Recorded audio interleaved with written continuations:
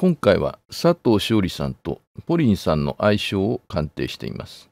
相性診断の画面から、まず佐藤さんを呼び出します。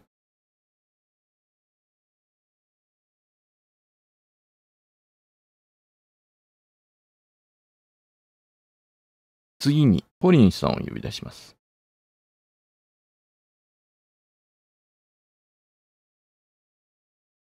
2人の診断を実行をタップします。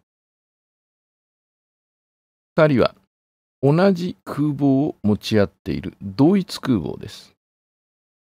同一空母は兄弟のような波長の合う関係です。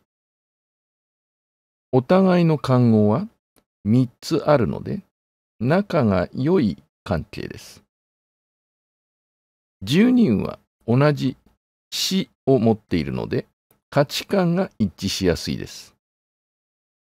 なお、十二運死は単なる記号ですので、字面の意味とは一切関係ないです。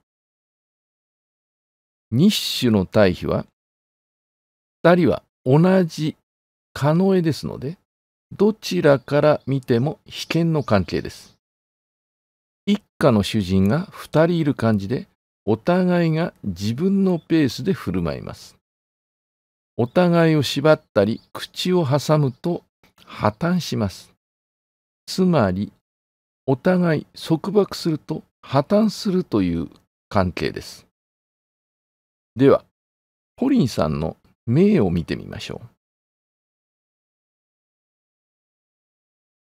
ポリンさんの名詞から名の部分を見ると、月中に用心があります。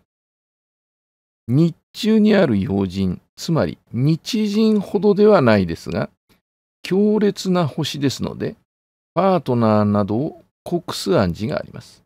さらに彼女は未用ですので、この傾向は強いです。月子厳明のタブをタップします。月子厳明、合罪、戦略的、政治的、普段は無欲で穏やかで涼しげな感じに見えても、内面は相当な野心家で、どんな手段を使ってでも、万難を排してでも目的を遂げ、結果を出そうとする。長所は、時代、人を見抜く勘が良い。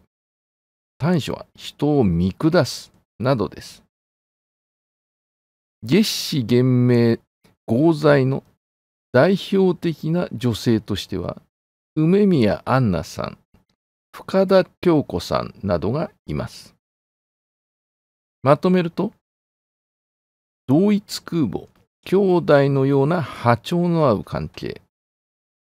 漢語が3つで仲が良い。同じ十二運。価値観が一致しやすい。日種が同じカノエで危険の関係。お互いを束縛すると破綻する関係であると。ポリンさんは用心、合罪の女ということです。今回はここまでです。